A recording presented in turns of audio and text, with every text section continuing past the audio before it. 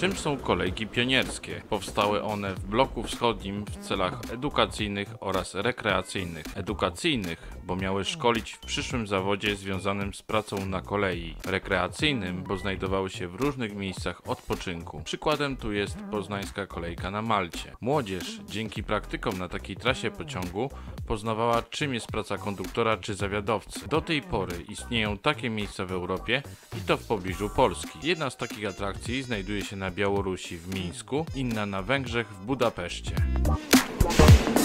Kraków miał nie być gorszy. Powstała kolejka, która kursowała między Zwierzyńcem a Bielanami, biegnąc przez malowniczą Dolinę Wisły wzdłuż Przegorzał. Przejazd kolejką trwał 20 minut. Kursowała ona od godziny 14 aż do zmroku. Przejazdy odbywały się od maja do połowy października i były bardzo popularną atrakcją wśród mieszkańców.